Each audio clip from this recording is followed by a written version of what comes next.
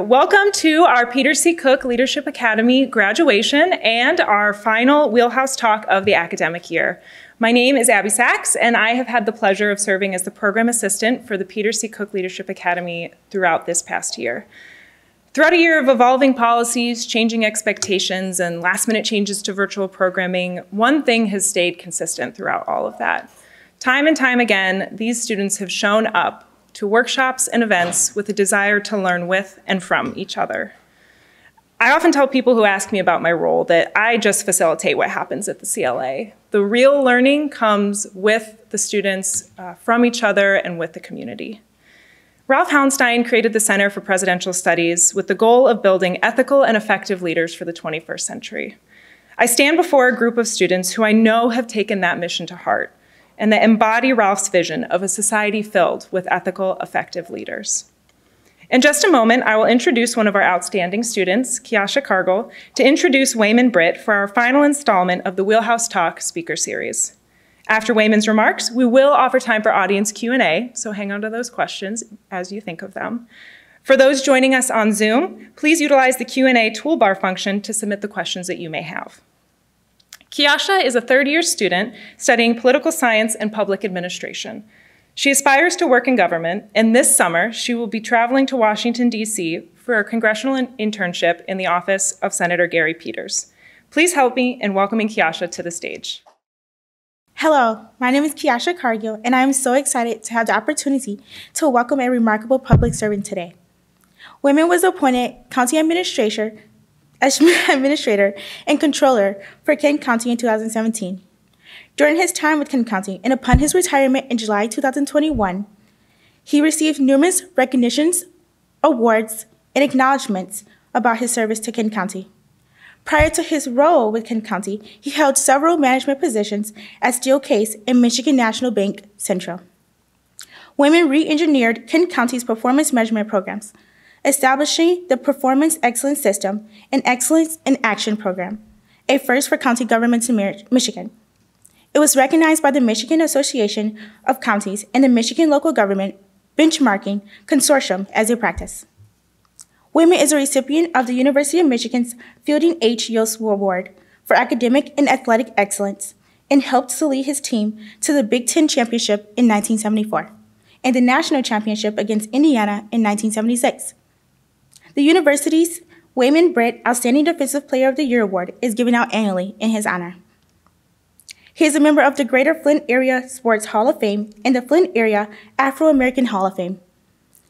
He is passionate about getting results, serving others, and currently serves on the Gerald R. Ford Presidential Foundation Board, the Michigan Fitness Foundation Board, and Trinity Health Michigan Board. Please join me and welcome him to the stage. What a great introduction. She's going to be a leader one day for sure. And uh, Abigail uh, has been so gracious with me uh, since she called and asked that I come and do a talk. And I, and I guess the talks are generally about personal stories and what people have uh, experienced in life and how they might uh, help you uh, with your careers and, and your life uh, goals. So I'm, I'm hopefully uh, going to do that today and give you an opportunity to uh, learn a few things about uh, the life of a county administrator and, uh, and about a guy that used to work out in the plants at Steelcase uh, as an employee relations guy, a performance consultant, and just how you get things done. It, it's been quite a, quite a travel. Um, I grew up in North Carolina. I lived in Flint for a while. I went to the University of Michigan. You heard some of that. And by the time I came to Grand Rapids, it, it wasn't anything like it is today. Kent County has grown tremendously over the last few, uh, 10 years, in fact, more than uh, you would expect. So I, I'm, I'm so grateful that I was able to be here uh, to witness this phenomenal growth and and just how uh, what a wonderful place it is.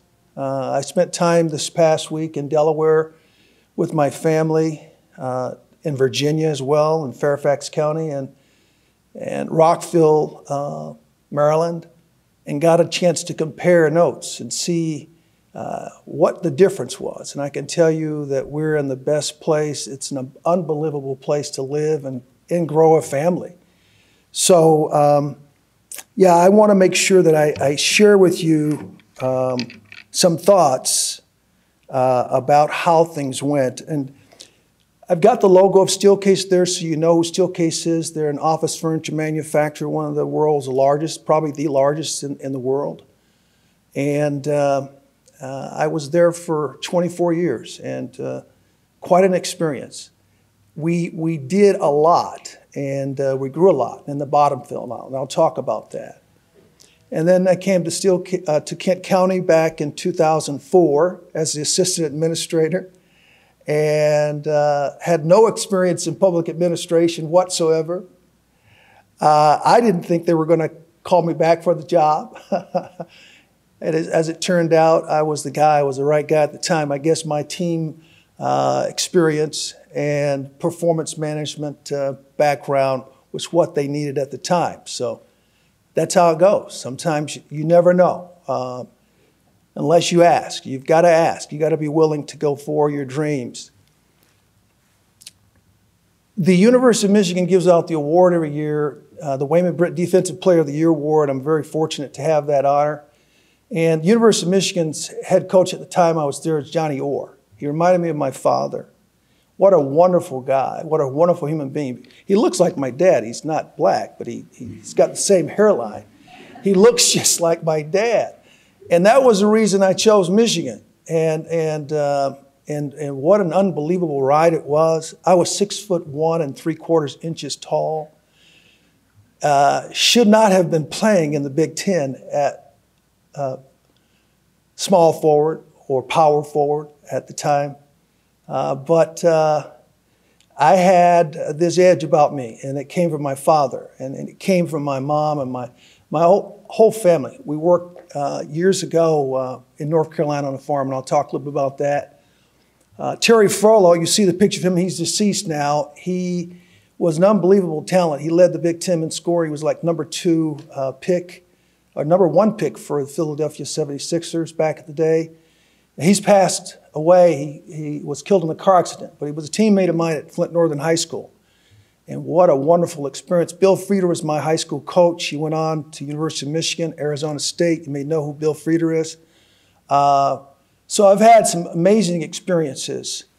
And then in the NBA, I was drafted by both the Redskins and the Los Angeles Lakers. I never played football. I just simply was a good athlete. And unbelievably, I went there to the training camp down in Washington, D.C., uh, at their training camp, and I could not believe how fast those wide receivers were. I said, that's not the place for me, and they were hitting pretty hard. Although I was, I was, I was willing to make contact, but they were just too fast. And uh, the other reason that I chose to go with the Lakers was because of Kareem Abdul-Jabbar. Lou, Lou Alcindor. You may remember who he is, quite a phenomenal athlete and intellectual. Today, he's written several books. Uh, I remember back when we played together, Kareem was always reading, reading books, and I was the rookie. Uh, he called me Sasquatch because of my feet or the size 15s like his was. You, you see my feet, they're pretty big.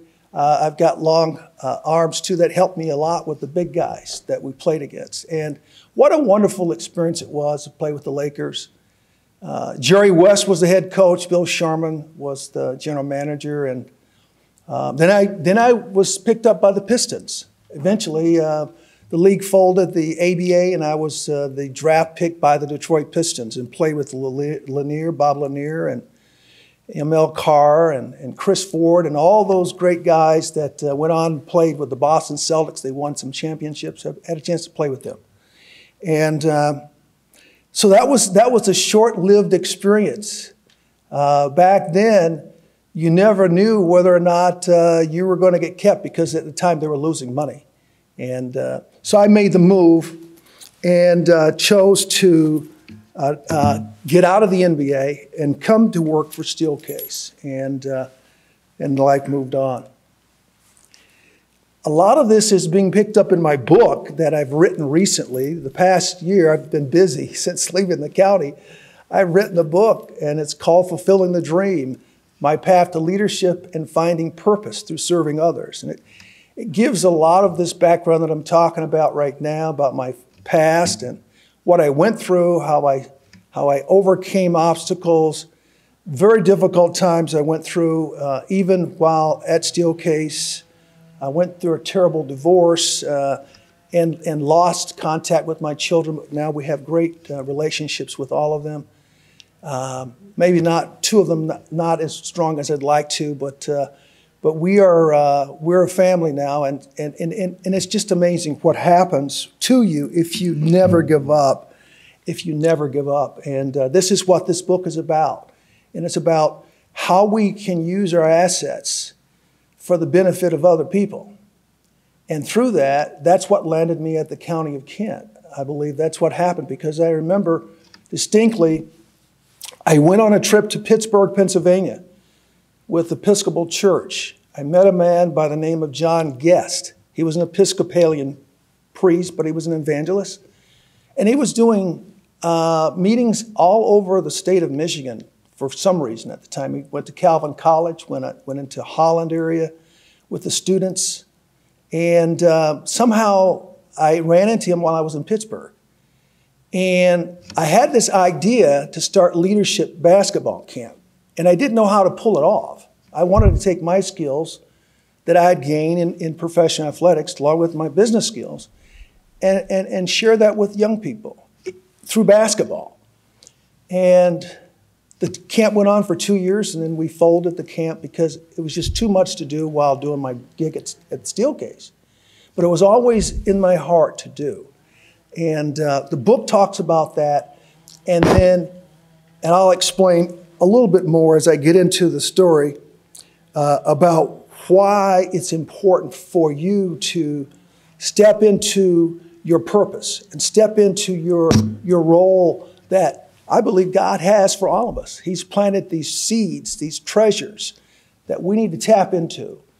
And uh, it all started for me back in the 60s, the late 60s. I'm not that old yet, but yeah, I'm old enough. Back in 65, 66, 67, when I went to short journey, high, short journey school, not high school. And uh, Mrs. Wall, who was my fourth grade teacher, told me that I would be a leader. She's the lady in the green. If you can notice her, she's the taller lady in the middle, in the middle, uh, with the green dress on. And she reminds me so much of my mother. It's unbelievable. Um, but she said that I would be a leader one day. I really didn't know what that meant. I didn't know what a leader was. You know, what leaders did. I just went to school and went home and worked on the farm. That's what, that's what we did. And she, and she saw something in me. She saw something in me, just like we see something in you. Uh, we see something that sometimes you don't see in yourself. And thank God Mrs. Wall saw that in me. And uh, from that point on, in fourth grade, when this leadership thing started resounding in my ear, I, it, it, I perked up. And I didn't fray away from it. And uh, I went to Boy Scout camp, had an unbelievable experience, came back, and I had this idea. I wanted to go to college. Even when no one in my family had ever thought about going to college, and I wanted to go to the University of North Carolina because that's where Dean Smith was. That was the Tar Heels. And it's just so happened my dad said, You're not leaving. We're not leaving without you. You're coming with us. My coach wanted me to stay coach, coach, because I was pretty good. I was first freshman starting that basketball team and uh, in Cleveland High School. Uh, but he said, You're coming. And I thought my life was over. I thought, oh my God, he's taken my whole idea of sports away from me, moving me to Flint, Michigan. I don't know anything about Flint. And it just so happened that we won two back-to-back state championships when I defeated my senior year, and then I was picked up by Michigan. Uh, unbelievable experience. But I goes to tell you again, you know, that seed that she planted in me, Mrs. Wall. It was an all black school, segregated school. And uh, those, those teachers there were unbelievable. Mrs. Cooper, she's the shorter lady with the purple uh, on. She was an amazing, amazing principal. Man, she was tough. Uh, she didn't take any stuff, but uh, she installed in us this idea that we had something to offer, that we could make a difference, and that we had a purpose. I remember in front of the stage, it's just like this, it's like the auditorium every year we do a devotion. And there was this slogan by Shakespeare that said, To thine own self be true. And that stuck with me over the years. And what that meant to me was never let your dreams, your ideas about what you wanted to do in life ever leave you. Be true to your dreams, be true to your goals. Don't let anyone take that away from you. Your sisters, your brothers, your friends, the naysayers, take away what God has put in you, which is, for me, to become a leader one day.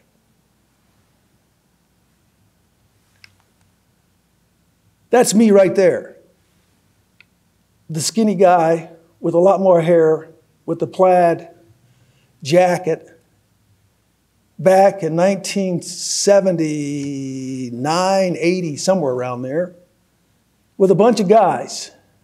Kenny Leatherman's the guy with the, with the glasses on, Bullwinkle glasses, the funny glasses. John Belselson was the guy that's in front of him there, and then Tom Dreyer is the guy that's next to the bus. And we were headed to a, to a, uh, meeting, a all staff meeting called the quarterly business meeting. Unbelievable at the time. And I was one of the folks that they selected to be in the management training program, the first uh, African American to be accepted into that program at Steelcase at the time. Jim Hackett, you remember who he is, right? Ford Motor Company. He was there at the time with me. And uh, he went on to become the athletic director at uh, Michigan as well as he was the president uh, at uh, Steelcase. But these are all the people that I used to hang out with at Steelcase. And uh, one morning, at about 6 a.m. in the morning, we were doing a baseline survey. The president of the company, North America operations actually, his name was Bob Ballard. He came to the plant that day to kick off this this idea of a baseline survey. He scrolled through my office, and I was the employee relations manager at that time. And he noticed my light was on. He says, What are you doing here? And I said, Well, I'm here to do the baseline survey, preparing for it with my boss, Paul Pearson. He said, Hmm, we don't, we don't get to see employee relations managers here that early in the morning at six o'clock. He says, Hmm, what do you really want to do? And I said, I want to one day be in leadership. I was a rookie, you know, young guy, you know, in my late 20s, early 30s. I want to be in leadership one day. And he says, hmm, okay, I'll, I'll keep that in mind. a few weeks later, we were, we were all called, all the employee relations managers around the company were asked to go to the pyramid, you know, the place out on uh, 68th Street out there in, uh, out there in Kent, Kentwood. Uh, it, it's, it's, it's now owned by Switch. They do all the technology now, but it's a beautiful building. Anyway, we're there. And uh, he came to our table, leaned over, Bob Ballard, and said, uh, I want you to take one of the jobs one of the supervisor's job in the panel plant. And the other employee relations managers looked around and said, hmm, what, what? They laughed, they scoffed. Because that would have been two steps down from where I was currently at in the pay scale. Why would I want to take a job two levels down? And he said, no, I'm serious. I want you to take the job over in the panel plant. So what do you think I did? Took the job. I took the job. I went the second shift as a supervisor. And I could have gone to first shift, but some reason I said, okay, I'm going to let Mark Burkhoff go to first because I wanted him to have an opportunity to be with his kids. He had little kids. And I had no experience with machinery whatsoever. The only thing I knew how to do was drive a tractor, you know, and a, and a lawnmower. But that experience working in that factory taught me so much about people and working with the team. And I left E9000 division, moved over into the panel basic area, became a, the supervisor for specials, and then a few years later, I became superintendent of the context plant, and then became a performance consultant. And um, went around the country, evaluated plants, gave feedback to the board, to the uh, president, and uh, the leaders of the company, because we were going through some traction, uh, some fracturing. The, the economy was starting to bust. And then in 2001, thereabouts, actually it started in 90, 98 and 99, the dot com bubble burst. You know, the dot com companies, they just, all of a sudden, they were not selling furniture at Steelcase. And then 9 11 hit, same time. We were about 18,000 employees at the time. 18,000. And the company whittled that down. Thousands of employees were lost at the time due to uh, the fracturing that was going on in the economy. And uh, I was one of those that had to leave. I was given the option to leave. And, uh, you know, I could have been upset about that, but I wasn't. I was prepared for that. I had an idea that no matter what happened, I had a purpose and I had a plan for my life. And um, that's mainly what I wanted to, to get to you today to talk about that and about the importance. The importance of never losing sight of your dreams and your goals. Because guess what? Change is happening all the time. It's happening all the time, all around you. Look at what's happening in, in, in Europe and, and uh, in Russia today, Ukraine what's happening there. You know, it's, it's, it's, it's just amazing what's going on in our world. Either we're proactive to change or we're reactive to change. True leaders initiate change. True leaders make change happen. We're either going to be victims of change or we're going to be agents of change. And guess what? We were all born to lead. We're all born to lead. It's in us. Someone's there's a saying about you know you were you were not born to lead, you were made or something like that. But guess what? I believe that we were all born to lead, no matter your your race, your your creed. It doesn't matter what church you're from. It doesn't matter. We're all born to lead. We have it in us. And the problem with that, though, is that it just doesn't happen. It ha- you have to believe it and you have to want it. That's why when Bob Ballard came to me, he said, What do you really want to do? I knew what I wanted to do from listening to Mrs. Wall and, and thinking about it over, over the years before becoming a supervisor or an employee relations guy. I wanted to be a leader. You, you, have, to, you have to want it. You have to feel good about it. And you got to know what it will take to get you there. And if you don't know, you got to ask somebody. You got to read a book. You got to go to a class. You got to study like you're doing here at Grand Valley. You know, but guess what? We need leaders. We need more leaders. We need true leaders. There was a song back in the 60s or 70s, I can't remember. Diana Ross. Remember her? Supremes? Do you? You really? Okay. Okay.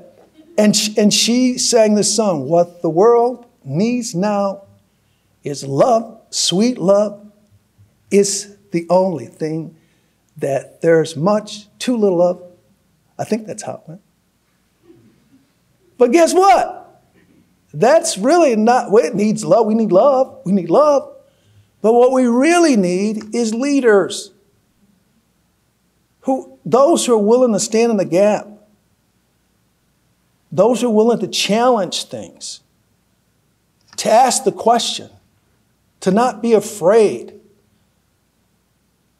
of challenging yourself. to be better. And I believe that oftentimes it's not because it's not because the desire isn't there. It's because of fear. It's because of fear. You know, getting ready to come out here today, there's a little fear, a little trepidation coming about coming out here to speak to you. I didn't know who, who this group was going to be and whether you were going to be friendly or not. And, uh, and I'm glad I did it because I see Carol Hennessy out there. She's county commissioner. Hi, Carol. And uh, one, of, one of the wonderful leaders of Kent County. And, and I'm so happy that, you know, she's here because she knows what I'm talking about. And being a leader isn't easy. It isn't. It isn't, folk, let me tell you. You know, even before I came to the county, living in that world at Steelcase, I felt sometimes like it was I was living in a shark-infested water system because even as a supervisor, trying to become a, a, a better leader, stronger leader, there were always roadblocks. There were always questions about my authenticity and even to the point that they would say to me, some people would say to me, You're too professional. Now, what, what kind of, what is it? You have too much energy, you have too much drive, and then you don't have enough drive. I mean, it was, it was, it was, a, it was a whole bag of things. But guess what? I never let that get my dauber down. I didn't listen to that flack. I believed in myself. And that's what you need to do. I know you're destined for greatness. I know that. I believe that. I see it in your eyes. Especially, I see it in your eyes. I've heard that you're going to uh, Washington, D.C., hang out with Peters. He's a cool cat. Uh, and, and what an opportunity it is. And that's how it happens. It's the relationships. It's the Kareem Abdul-Jabbar's. It's the Jerry West. It's the, it's the Bill Martins, it's those people that you um, get to know. And again, I can't say this enough. You have treasure in you. That's, that's, that's what I believe so much in my heart. No matter who, who you are, how short you are, what color hair you've got, what background you're from, you have something to offer this world. And we need to make sure that every, every person gets the opportunity to become who they were meant to be. Who they were meant to be. The richest place in, on this earth is the graveyard. The richest place on earth where inventions were not made. Beautiful music, songs, records, not made. Beautiful cities, not made. Opportunities that were lost that could help this world be a better place. Why? Oftentimes, we sit back and we watch it happen. I remember working at the county, and we would go, and I went through our correctional facility. And you see the young men and the young women that are there in our juvenile detention centers. And you say to yourself, wow, you know, uh, they're, they're going no, no, nowhere fast. And then the children that are in the foster care system, same thing. My goodness gracious, what we do to each other to undermine the gifts that we have. And over time, it just keeps happening and happening time and time and time again. It never stops. The only thing that's going to make it stop is for leaders to rise up, for you to stand in place. I made that decision. It wasn't fun, it wasn't easy, but I made that decision and I made a mark. I made a difference. I know I did. I thank God for it. But we need more. We need more. We need true leaders on the scene. And, and I'm just so happy that I didn't let the setbacks that came along my way to push me back, to cause me to fret. The blame, the shame, okay, the ridicule, tell you a story real quick, and I'm going to move on. Before I took the job at the county of Kent, I was called, asked to come in for an interview. The next step was for me to come and do a physical. I mean, and you talk about the background check that they do on you. It's the physical, they go through your credit rating, they do all this stuff. The sheriff's office comes out and does a visit visit at your home. They do all of that before you become uh, a person working in the county. Okay. Two weeks before I had to go to do my background check, it's somewhere downtown here, I was moving my daughter, Desiree, into our apartment building. Uh, her and her son, Hannibal. And upstairs on the other side of the apartment complex was a, was a, uh, a dog that got loose, came out of the apartment, got into the mud out there on the ground. It was puddles everywhere. The dog rushed into my car and muddied the heck out of my car. And I had the hell of a time getting the car, dog out of my car. Next thing I know, I hear this guy over here, who was the owner of the dog. Hey, what are you doing with my dog? I said, What am I doing with your dog? What your dog doing loose? The dog has muddied up my car. You need to come and clean my car out. You need to fix this. He came downstairs and got into my car, pulled his dog out the car. I said, "You got to clean the, you got to clean this out. Come on, help me clean this." He got right there in front of my face. I mean, like three inches in front of my face, and started swearing. I mean, some of the worst profanity I've ever. Seen. I don't know how people swear, but that was one of the worst situations. What did I do with that? He was threatening me. Oh, Lord. What did I do? I said, oh, okay, I'll, I got it. I'll take care of it. Now, if I had done anything to accost him or push him or hit him, guess what might have happened? Kentwood police might have come over and said, hey, look, you need to come with us. You shouldn't have hit him. That would have been on my record. Because I'm a fighter. You know, I play ball. I take care of myself. But I wasn't that, I, I, I remembered the importance of who I was and what I was about and what I needed to do. And I wish that would happen time and time again. There's so many tragedies that are happening in our world today. And too often, it's because we don't, we don't see the value in one another. There's a story, and I'd like to read it to you.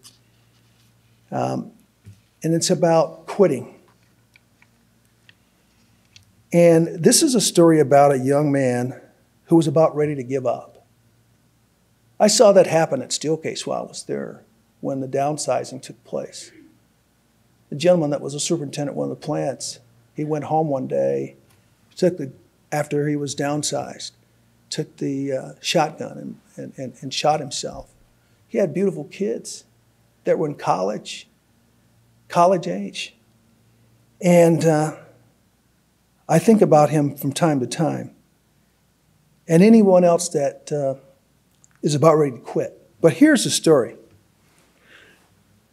Um, before ending everything, uh, this young man decided to go into the woods to have a last talk with God.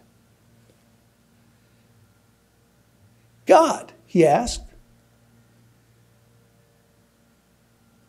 Can you give me a single reason not to quit? God smiled and started narrating a wonderful story about a gardener. The gardener planted seeds of bamboos and ferns in an empty plot of land that was there. He took care of it daily by watering those plants, both the bamboo and the ferns. Then one day he was delighted to see that the ferns had popped up. The seeds had sprouted.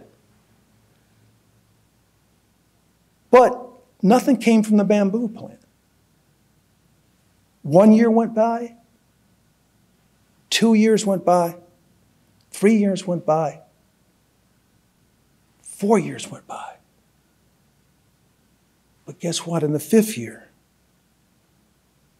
one day the gardener finally spied a tiny shoot emerging from the soil. Then he was astounded to see that within the next six months, the little shoot grew into a 60 foot bamboo plant. That's how fast they grow. And God said, Do you really know what happened those four years? He says to the young man. He went on to explain that the gardener's efforts of the first four years were not a waste of time and effort, despite the outside world and what they might thought of him. Below the soil, away from the gardener's sight, the bamboo seeds needed developing. They needed to develop their roots and to expand below the surface. This created the strength for fast and sustained growth once the bamboo sprouts, once the bamboo sprouted. God then said, My child, life is not uniform, and there will be ups and downs. Be patient and persistent. Don't compare yourself to short term, quick achievers who grow fast like the fern. Not everyone achieves success quickly.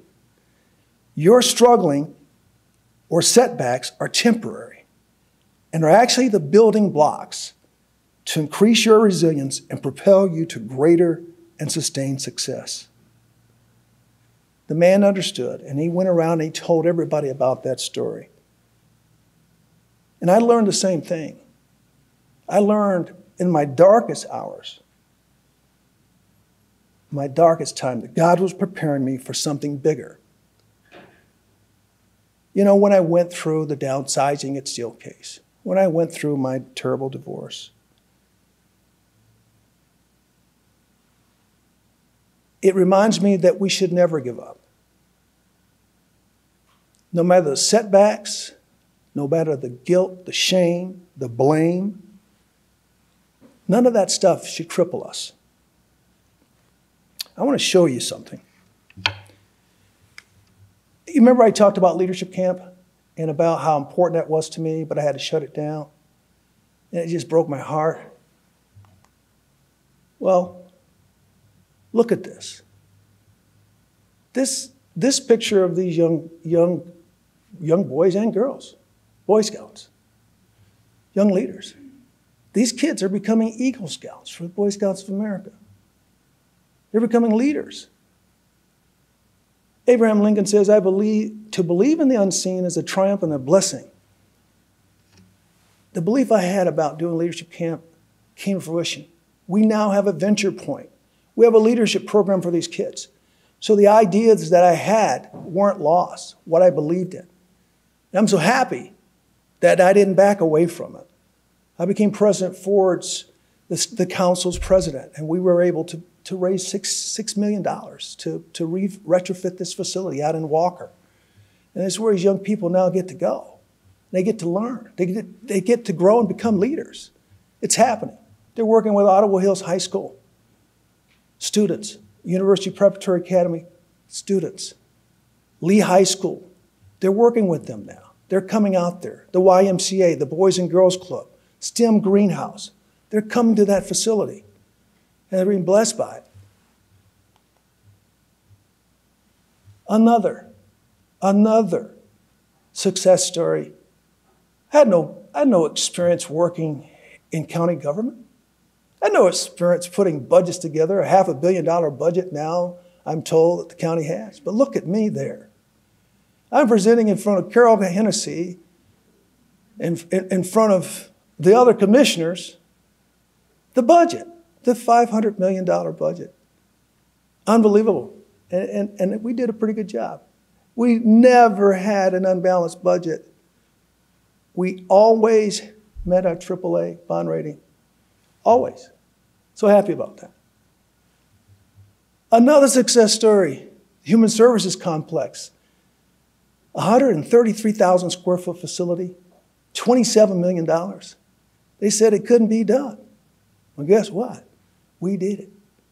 Now we have an all, all in one place for people to come for child abuse and neglect, for people that need uh, assistance with Social Security needs. I mean, it's, it's just a wonderful place over on 121 Franklin, a few blocks away from 131 and Division Street, right in the middle of the city. It is a beautiful facility. So proud of it. The other one I'm proud of is the Sports Commission. Oh my goodness. That was, they said that wouldn't be done. It wouldn't be profitable. Guess what? It's in its 15th year now in operation. They have a beautiful baseball complex out on, out on 10 Mile Road, out in Rockford, Plainfield. Sports complex, the Meijer Sports Complex. And they're talking about expanding it again. I've been reading about it. They want to expand it more. And that's, that's my friend Peter Secchia. You may know, know him by name. He was the guy that had the idea. He's, had, he's, he's a force to be reckoned with, let me tell you.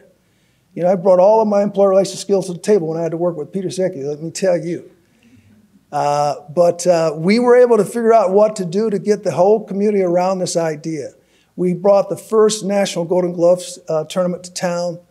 Uh, Floyd Mayweather donated $75,000 to that effort, and uh, the rest is history. Be- Beilein, Coach Beilein, and Izzo came to a lot of those functions, and it's just been an unbelievable success. I brought my basketball skills, my experience working with people to the table, working with Peter.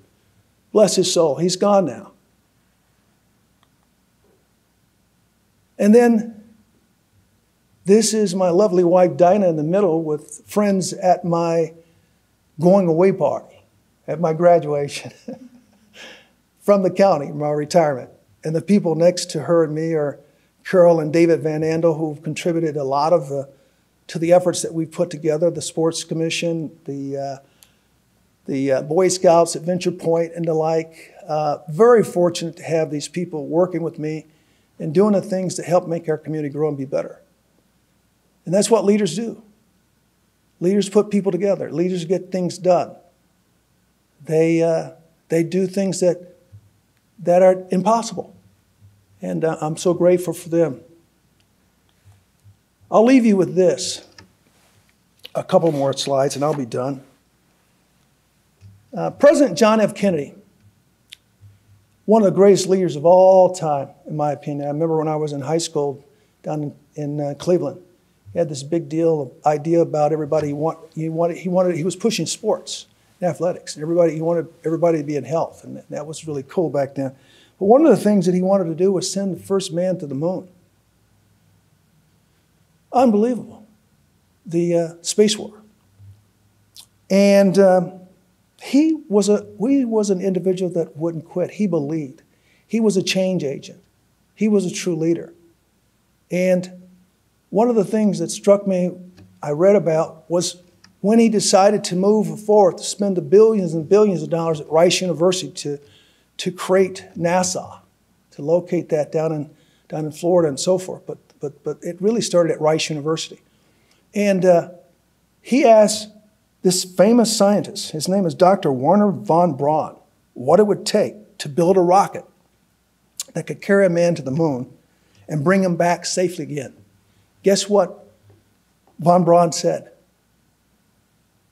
The will to do it. The will to do it. That's that. nobody'd ever done it. Didn't know how they were going to do it. You just had the will to do it. And I believe that's where it starts with all of us who have goals and dreams and aspirations. You start with the will to do it. And then I will show you one last slide that's really cool. You may, you may know one of the horses there. I think it's the one on the right side uh, with the blue. The horse's name is Secretariat. One of the all time race horses run the tri- won the Triple Crown. crown. In fact, won the last race by amazing 31 lengths. No horse has ever done it since that time. The backstory, and there's a movie about this horse. You've probably seen it, Secretariat. You like that movie too, huh? And uh, in the story, there's young, this young lady who's, who's married. She's got kids. They're out in Denver, Colorado, living out there. Her husband's an attorney. And uh, she goes home. Her father's ill, and he's about ready to pass away. And he sees the horse uh, for the first time, and he says, uh, Let him run his race, darling. And she remembered that because guess what? They were going to take the farm away, they were going to shut things down, and she figured out, she figured out how to make the funds available to get that horse sanctioned so that it would, it would be in the, in the winning. Uh, it won the Triple Crown. And I say this to you Penny had no idea. She had no background in training horses. But she figured out through her will and determination what it would take to make that happen. We have vast potential. And I talk about that in my book. We have vast potential people. And if only we would, would begin to believe um, that anything's possible.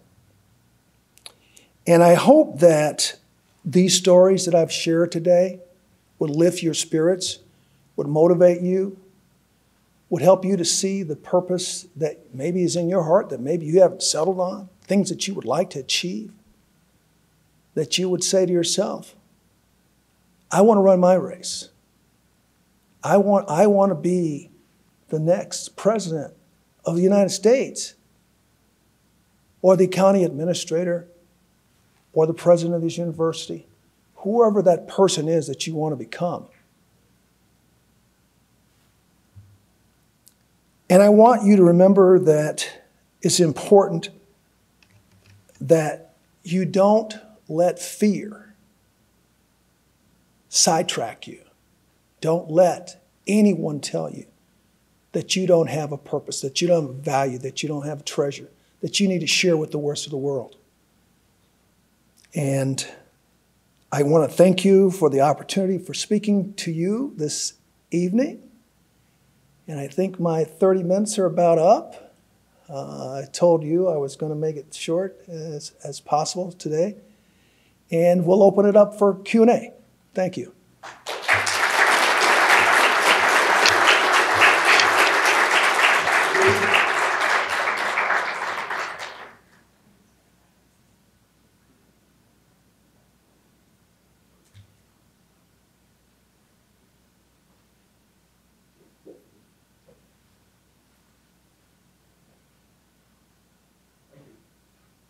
You hear me? Okay. Yes. Um, I have a lot of questions, but I'm going to start off with a general question. Sure. Um, you talked about um, a sense of having will, and my question is going to be a sense of balance. When somebody is still trying to get a better understanding of their confidence of stepping up to a plate and becoming a leader, how does one distinguish between stepping up to the plate versus self-preservation and saying, okay, I need a little bit more time to prepare? Does one just throw themselves into the opportunity, or like wait and say, okay, I need to prepare? Like, how do you distinguish that, and how did you distinguish that?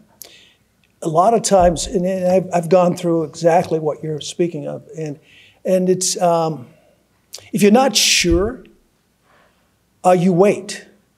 You don't rush into something that you're not completely sure of. But it's your duty to press forward, to figure out whether it is or it isn't. Don't put it on the back burner. Oftentimes, what happens to people, I think, is that they, they let it slide and they don't weigh into the opportunity. They don't investigate. They don't do their research. They don't call a friend or talk to a spouse. They just keep it to themselves. Don't do that. And then the other thing I, I always do is pray. And for some reason, it, all, it always comes around for me. Early in the morning, prayer time. And, and spend that quiet time to reflect and say my prayer. And it may not happen that day, but it may be two days later. But oftentimes it comes to me, and it's protected me all my life. Uh, I haven't always made the right decisions, and there's times that I didn't wait, I didn't seek God, I didn't pray. Uh, but I, I believe that's, that's what I would do. The mic. Um, the second question, and it felt kind of like you were speaking directly to me uh, for some of the things that you were saying.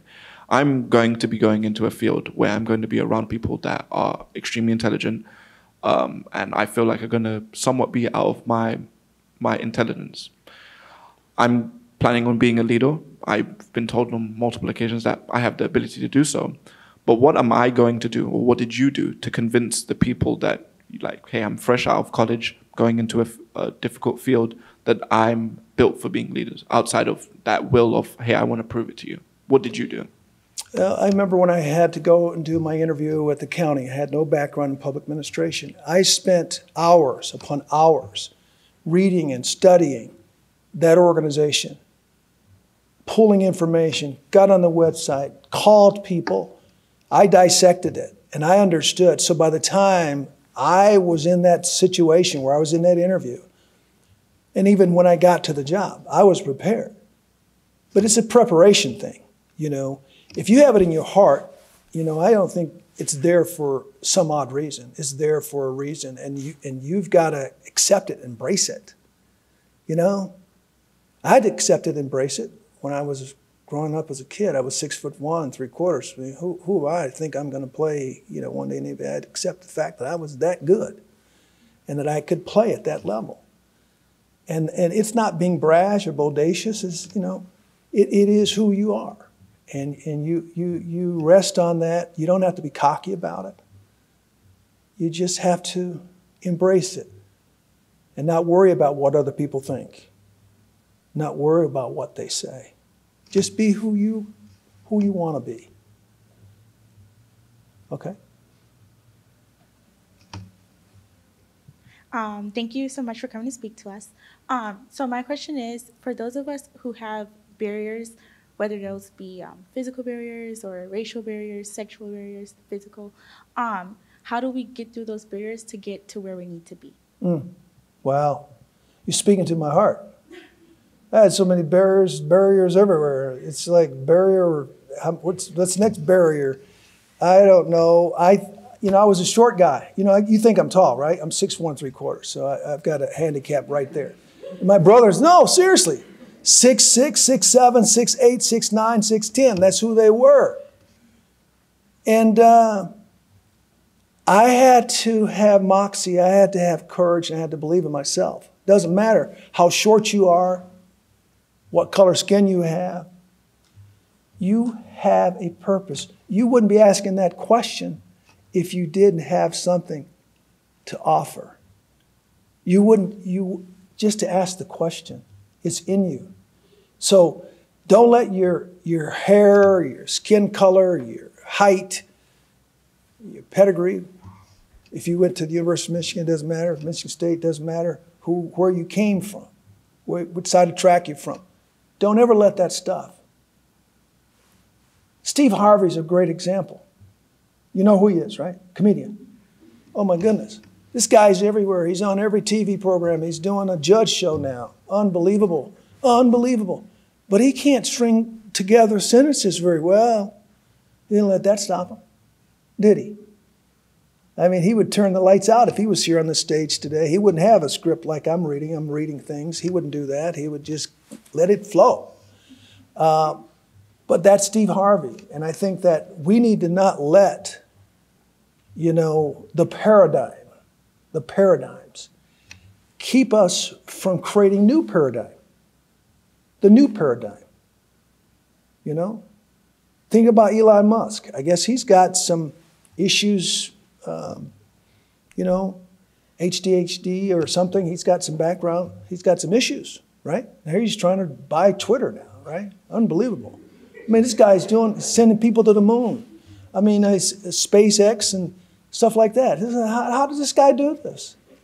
You know, you see this, you see this all the time, and and and yet we sit back and we say, "Well, I'm not worthy. I'm not capable." That's that's what I would say to you. You have it. You have it. Next question. Hi. Over here. How you doing? Um, my question is, who in your life do you regret um, not being able to say thank you to? My mom, probably not enough. My mom, she passed away before I got a chance to get down to see her. We just got married, and, and uh, she passed away. I was on a trip to Germany, and I never got a chance to see her before she passed. Oh man, it broke my heart because she she had this unbelievable way of making people feel good about themselves. She she she was a lover of people. Um, there was a poster. The only thing I kept from her when she passed: "Love is like a butterfly." It goes wherever it pleases, and it pleases wherever it goes. Now, for a young black guy growing up in Flint and then in, and Jim Crow area in North Carolina, having a mom who was there to make those biscuits in the morning and to give you the words of encouragement like she did, unbelievable. And I didn't realize until she passed how much she really helped me to be me.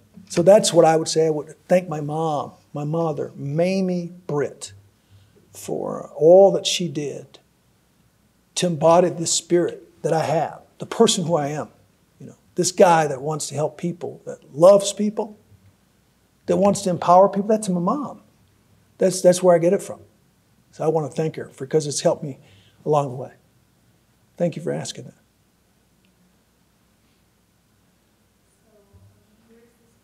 Kind of in the self-help culture sphere. Um, and this piece of advice that kind of gets out there, which is uh, don't tell people your goals. Um, and the, the rationale behind this is that if you tell people your goals and they say, oh my gosh, that's so great, you know, you're getting that um, positive feedback, you're getting that dopamine hit of telling people your goals yeah. almost like you would right. if you were meeting your goals. Um, I was just wondering kind of what you thought about that, about how much to talk about your goals as opposed to how much to kind of keep to yourself. I was warned not to tell people about my book, to not tell people about my book, just write the book because what will happen is you start writing a book and you start telling people about it, and then you you start feeling pressure to get it done or you know whatnot, or to to write it this way or that way. So I think there are situations where you do have to keep some of that to yourself, but I did tell my brother Jay, and I did tell my wife and others, be selective about who you tell that story to. Be careful. And that, you know, sometimes your spouse is not always supportive either. They want to protect you. You got to be careful about that. I don't tell my wife everything I'm thinking about, what I want to do, because she's she's looking out for security. And she's not a risk taker like I am. So I am very careful about ideas with my wife. Sometimes. Don't tell her I said that. But so I do that until she's ready, until the timing's right. Then I said, okay, here's what I think we need to do. And then she said, Oh, okay, that's a great idea.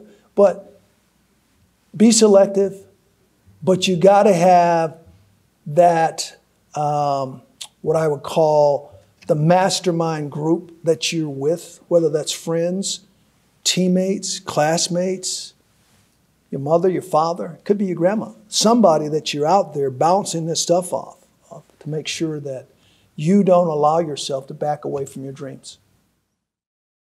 Hello, everyone. Good evening. For those of you who have not had the chance to meet yet, my name's Grace. I serve as Assistant Director here at the Hauenstein Center, and it is my privilege to be here in person with you all. Sorry, audience, speaking to our graduates for a second. Um, it has been, it's been a couple years um, on this campus, and I am really proud for the work that all of you have done through this, and I'm really excited to see what happens next for each of you. So tonight, for all of you who might not be super familiar with our program, these students lined up in the, on the side over here have spent all year as candidates in our program. So they have not earned the designation of fellow until tonight. And I will tell you that over and over again, they have proved themselves to be willing to learn, willing to commit, and willing to serve. And so for that, let's celebrate them. Let's just give them a quick round of applause for all of them.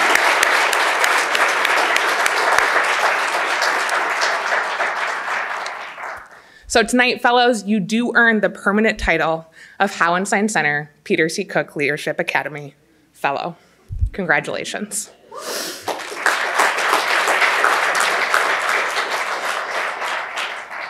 I, quick, I quickly want to note that I will be reading all of our graduates. We have quite a few that are calling in online. So if I read a name and there's a pause in walking, send your love to wherever they might be calling in from tonight.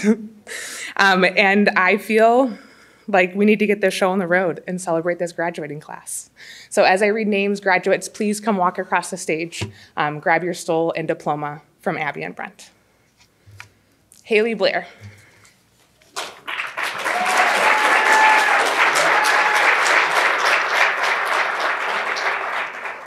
Rachel Carpenter.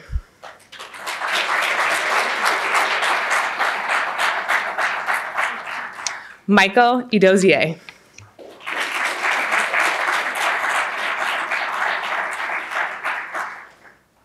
Micah Fernando. Amalia Gregorian.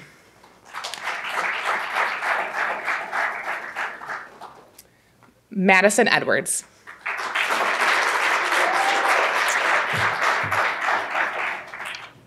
Samuel Jacobs.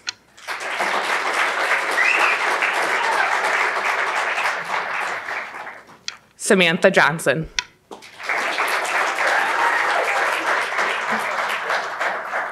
Leah Johnson. Katie Kozak.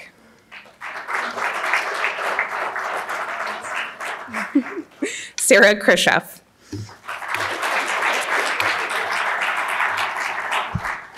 Finn Lindberg. Molly Lombard.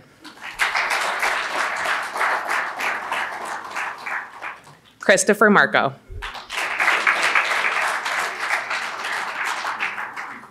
Peyton Meloser.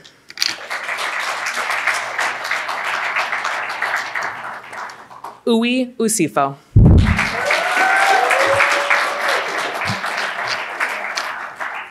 Ashley Pangan. Estefany Paniagua Pardo.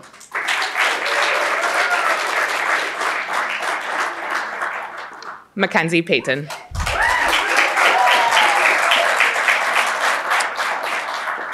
Jacob Petrosky.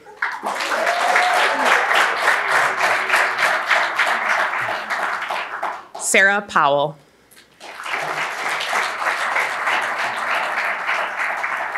Madison Riley.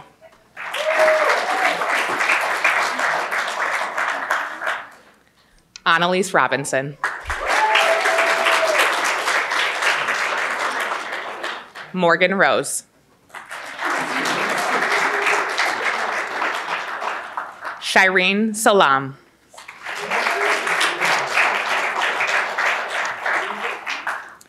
Aziz Graham Sanahan Jr.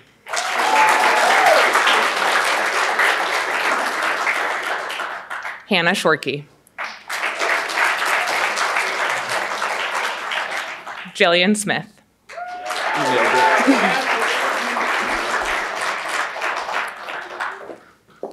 Treyondis Snodgrass.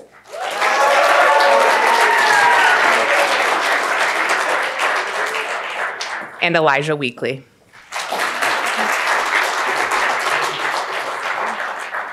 If I could hear one more roaring round of applause for our graduates.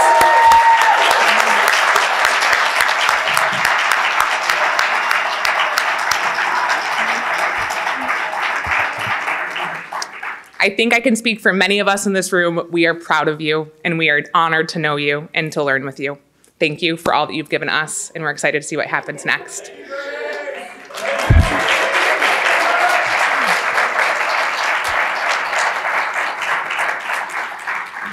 Graduates, I'll ask you to step out the doors and head to Regency Room for a quick picture. Um, guests, other students, family members, um, all of those that are here to celebrate, I invite you out to the exhibition hall for some refreshments. Um, I uh, am grateful for you for joining us tonight in this learning, and I'm really eager to continue to get to know each of you and the ways you've impacted our graduates' life. Thanks for being with us. We'll see you out in the exhibition hall.